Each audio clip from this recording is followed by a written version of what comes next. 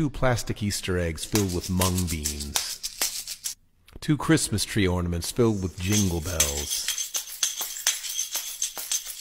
Two wads of masking tape tied together with a pink ribbon.